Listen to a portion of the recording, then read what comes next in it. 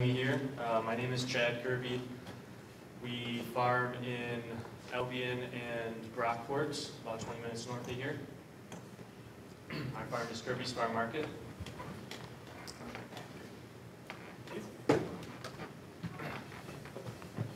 And uh, we grow quite a few different crops. I've, over the course of the day, I think I've learned that we're quite a bit different than most of the growers here. Um, we primarily grow apples. Uh, we've got about 60 acres of those. We've got 10 acres of peaches and then a couple acres of cherries and plums along with that. And then about uh, 30 acres of vegetables, which is what I focus on. Uh, this is us. Uh, it's me, my wife Mandy, my mom and dad Tim and Linda. Uh, I'm the fifth generation on our, farm, on our farm. My great great grandfather started farming back in 1878, and uh, I feel very fortunate to have been born into this into this industry because I've really come to enjoy my work. Uh, we have traditionally been conventional for a long time, and about I'd say three years ago is when the big shift happened, when we started becoming a little more regenerative. And I'm going to talk a little bit about all the things we do, with mostly focusing on how we use biological products. So I think there's a fork in the path that we're all on right now. And one of them's a little less traveled, and that would be regenerative farming. And uh, like we talked about today, there's a lot of things we still don't know, but there's a lot of work being done, and I think it's important to you know keep contributing to that. And like Pete said, keep doing the right thing and working with nature. These are a few of the tools we've been using to work towards that. Uh, reduce tillage. We have switched two years ago to a composted chicken manure fertilizer, I'm sure you've all heard of Kreher's, um, as well as a, uh, another product called Cycle Plus that we've been getting from Rod at Cayuga Ag uh, to plant in our planter when we're direct seeding in the field. We also have been using AEA, Advancing Ecological Agriculture, that was mentioned uh, in the previous presentation. We use their liquid fertilizer along with the sap analysis. And uh, we have also been interplanting alyssum, which is uh, flowering annual, in order to bring in beneficial insects like Steve Groff mentioned. Uh, we have begun trying to eliminate all herbicides we've been trying to use more biopesticides because those are, if you haven't heard of those, they're basically just bacteria or fungi eliminating the pest for you instead of synthetic chemicals. Uh, we've used beneficial insects in our greenhouse as well, which then you know, brings that out to our vegetable field on our transplants.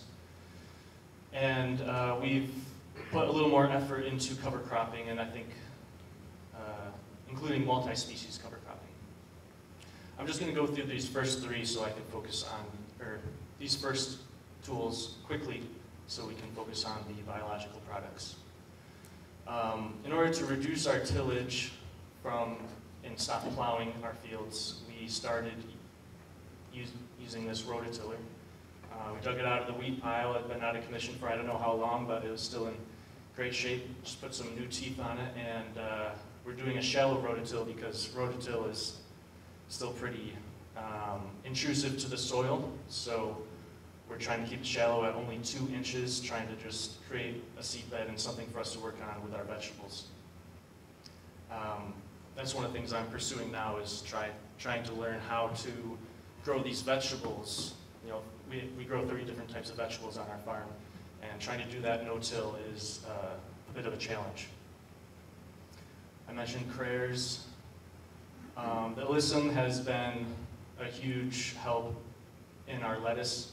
That's where we started using it first. Um, we put one plant every 10 feet, which is about 10% of our field. And uh, we don't really eliminate lettuce in order to do this. We put it in the middle. And uh, one way we tried to save money this year is by buying the cheap seed, which is an open pollinated variety. You can see on the left as opposed to the one on the right, which is a hybrid seed, which we sell as a bedding plant in our greenhouse. And uh, always trying to cut costs, and we haven't talked about this yet, me and my dad, but I think I'm going to be going back to the hybrid seed because you can see that was just kind of overpowering our lettuce. But the, the purpose of the Alyssum is to bring in um, specifically a parasitoid wasp called Aphidius colemani, which lays an egg inside the aphid and uh, eats it from the inside out. And uh, then we don't have to spray for aphids. And I got out there and looked at the lettuce the first year we tried this, and I see parasitized aphids on the lettuce leaves. So, you know, it's evidence that this is working with very minimal inputs and that we don't have to spray insecticides. We've started applying this to um, our tomatoes and pepper fields as well as using, leaving part of our farm that was, uh, you know, poor ground to grow up into a pollinator habitat to attract more beneficial insects. Uh, we've also been focusing on eliminating herbicides. That's been uh, a bit of a challenge adjusting to that. We are looking into more tools, different tools that are going to help with that transition, but herbicides, like you mentioned, Roundup is just damaging to the soil, so we're trying to get away from them completely. Uh, we've also started using finger weeders, um, experimenting with tarping, which is uh, a tool a lot of small farmers use for small plots to start out with a stale seedbed. And we're also looking into flame weeding. A couple of the biopesticides I've been using in our brassicas specifically is javelin and dipel, which is a, has a BT bacteria in it if you're not familiar with it. So um, you need to get out there early in order to control the cabbage worms because they eat this product when it's on the leaf and it gets inside them and uh, kills them. So instead of spraying, spraying insecticides, we've been using these biopesticides to control our worms in all of our brassicas. This is my dad spreading out some predatory mites in our greenhouse. Um, one thing I love about using these products is you don't have to worry about PPE. You know, you can be eating an apple while you're using it because it's perfectly safe and not harmful to humans. Other products we use is in the greenhouse we buy in parasitic wasps that I mentioned earlier. They are found native outside, but it, we buy some to spike those populations in our greenhouse. We also buy uh, minute pirate bugs, which can eat thrips, uh, very big problem in greenhouses. And we also use beneficial nematodes that we dip our plants into because they eat the, uh, lots of different problem insects or microbes that are in the soil. Uh, with cover cropping, we've been more intentional with it, I think is a good way to describe it, because we've always been cover cropping, but now we are trying to successive cover crop, you know, plant maybe two in a row if we have that window, get one out, and then if we have four weeks before we need to plant our fall brassicas, we'll put in some buckwheat, because that's a nice quick cover crop that can really help with weed suppression and, uh, and this is a cover crop mix we got from King's Agri Seeds. You can see there's peas um, and about nine other things. I don't know their names, but uh, diversity, I think, has been really helpful for us in these. so that brings me to uh, Advancing Eco-Agriculture, founded by John Kempf. Uh, we primarily use them for their liquid fertilizer products, which are mostly certified organic. There's a couple that are not. But this company is a lot more than just their fertilizer products, um, which is half of the reason why I'm so invested in this company. Um, he puts out podcasts for free, which you know I enjoy listening to on my long car rides or making deliveries, um, just learning about other farmers across the world that are trying to do the same thing we are. They put out a lot of YouTube videos that you know you could just put on in the morning or in the evening to learn a little bit more because there's a lot of information out there and you're not going to learn it all at once. So we try to chip away at it. Uh, they have launched a new social media platform called Kind Harvest, and I think this is going to continue growing. I think they maybe launched it last year. It's, it's fairly new, um, but it's kind of oriented like Facebook, except you have to pay to become a member. And uh, that keeps out all the people that are just joining to, you know, be annoying. And so you, you pay to join Kind, Harvest, and uh, you can talk to people that are like-minded and have discussions and ask questions.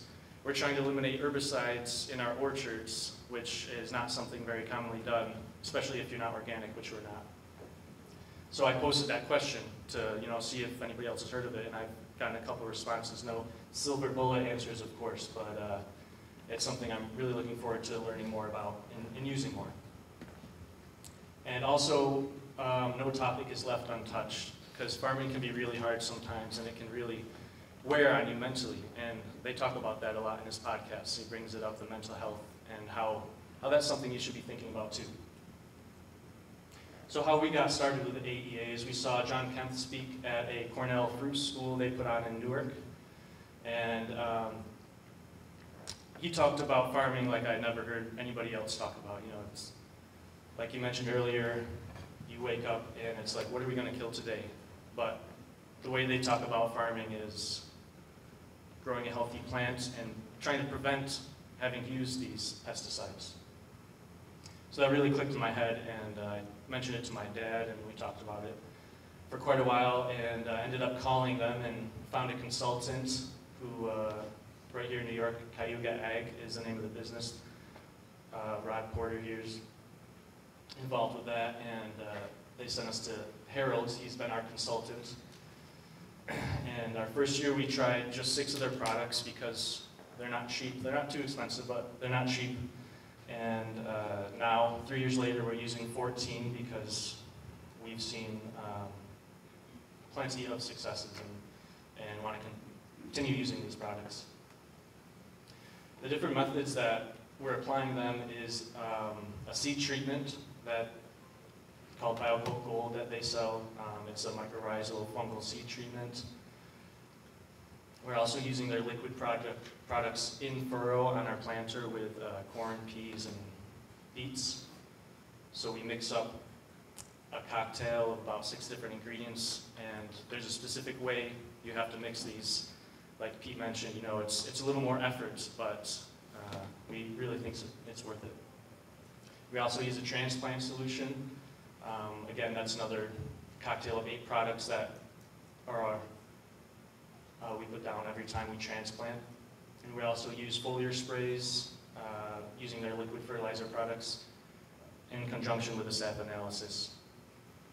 And uh, I'm still working on finishing putting out the soil primer, which is a combination of the fish emulsion and the molasses, so the sugars he mentioned, um, to feed our biology over the winter.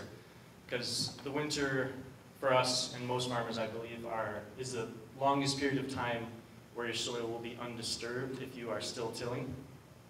So it's an important thing to feed that biology over the winter and help boost it for the coming season. So the first successes we saw that were really encouraging is our spring leafy greens looked incredible, the best they've ever been. Um, just big, luscious, and had great flavor. Uh, one of the big problems we had in our bell peppers, especially red peppers, was blossom end rot, which we've learned through this uh, journey we're on is from a calcium deficiency, and the calcium deficiency is caused by spreading too much potassium, because we were, you know, we, we knew tomatoes liked a lot of potassium in order to create that nice red juicy tomato. So we were just using a triple 15 fertilizer and broadcasting on that on all our vegetable ground and uh, really hurting our peppers. So we learned about that and stopped spreading potassium on our peppers. And uh, that first year we did that, we only had 15% of the blossom end rot problems in our bell peppers. And these last three I'm going to elaborate on a little bit. Uh, the brassicas, sweet corn, and uh, zucchini. We've all seen successes by using these products. So I mentioned the aphids a little bit already. Um, I think those are being all taken care of by beneficial insects. Don't have to spray for aphids. Um, the worms we are taking care of with these biopesticides. And I think very slowly, our soil health is improving, which is improving the health of our crop, which eventually, hopefully, will help prevent the worms as well. Uh, flea beetles are a common problem with brassicas. Um, didn't have any problems with those this fall. I have to admit, I think that's partly because later in the season there's a lower pressure, but I think you know, our crop health and our beneficial insect plots are not hurting that either. and um, foliar sprays. Um, that's one thing about these foliar sprays that we've learned the hard way is you can get a little too high with the salt levels in those sprays and physically damage the leaves. So we have a pH and EC meter that we use for the greenhouse, and next year I'm going to use that for a couple of our recipes because you don't have to use it every time you spray, but each crop has a little bit of a different recipe because of the different nu nutritional needs. So I saw some burning happening in our cauliflower, so I'm going to be evaluating that a little bit uh, next year. For sweet corn, we grow, we we grow about five acres of sweet corn in eight different plantings throughout the year, and uh, we're not using any GMO corn with BT in it because our customers let us know that you know they don't want to buy corn like that. So you know we listen to our customers, and that's what we grow. Um, the specific block of corn is what I'm talking about on this slide. Uh, we planted it two years after it was apple orchard, and the, the previous year there was brassicas on it, so it had not been heavily cropped yet. And the only nitrogen we put down was about 200 per acre, 200 pounds per acre of the Kreher's 822 with our planter, which is a total of 16 pounds of nitrogen. We also used AEA's liquid products in furrow, and I got one foliar spray out. I didn't have time to get the other two out. And uh, that, that in-furrow application, by the way, is pretty much negligible. NP and K, they're, uh, like Pete mentioned, those are mostly meant to fed that biology that we're putting down. And as the season went on, we were keeping an eye on it, and uh, you know, we grew this beautiful green corn, and we were scouting for worms, didn't see any worms, didn't have to spray any insecticides, and so I think this was pretty much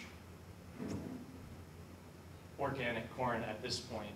Um, and with a total of 16 pounds of nitrogen. So I think that speaks to what biology can do for you. And in our zucchini, um, our zucchini is a big crop. We sell to Wegmans in Rochester. We deliver to about 15 different stores throughout the year. And uh, we haven't used fungicide on our zucchini for two years now. And we always used to have to use that for powdery mildew. It would always come in. Um, but the first time I saw powdery mildew coming in on the summer squash on the lower leaves, I called up Harold and asked him you know, do you have anything I can do? I don't want to spray a fungicide. And he suggested adding to the typical foliar spray that we've been spraying out every week to add uh, two quarts of Sea Shield, which is a fish emulsion, and double up on the Micro 5000, which is a dry powder product that has a micronutrient package as well as biological products in there. And so that's what I did, and kept that powdery mildew suppressed for you know the next five weeks. And uh, I think usually, conventionally, we were harvesting zucchini for only about four weeks. And now without fungicides, using these products as foliar sprays, as well as you can see the drip tape here, we fertigate with these products as well. We were able to go for six full weeks of harvest, and that's what we do now instead of you know, four plantings throughout the year, we can get through the whole summer with only two plantings by keeping the plants healthy. Some of the challenges I'd like to talk about is the salts, which I already mentioned. It's very rare. We've only had that problem in our brassicas and the peas. And uh, learning how to adjust our fertilizer rates. That zucchini planting I was talking about on the sap analysis all three forms of nitrogen were off the charts because you know, we put out the regular rates of nitrogen we've been putting out for decades. Um, but, you know, our soil's becoming more alive and really supporting our crops. So apparently next year we're going to be putting out less nitrogen. And we saw the same in our peppers and tomatoes. They just had too much fertilizer. so we're going to be adjusting that going forward. Also learning how to use these products. Um, they've, honestly, they have clogged quite a couple nozzles on us, but um, we're learning with that and we're learning to filter them before we put them in the tank and have proper screens in there and it's just quite, uh, quite a learning process. And also learning the best practices to go forward. I think that's why we're all here, is to tr- try to learn, you know, what the right thing is to do, how to grow these crops best as possible, and that's just a big challenge all in itself. What I will leave you with is a joke I heard from John Kempf uh, on his podcast. So there's these two trees in a forest uh, talking with each other, and two humans walk by underneath, and one tree says to the other, "Oh look, there's two humans here. I, I wonder if they're able to communicate with each other." The second tree says, "Impossible. There's no way they can communicate. They, they don't have roots." Hmm. So that's all for me. Thank you.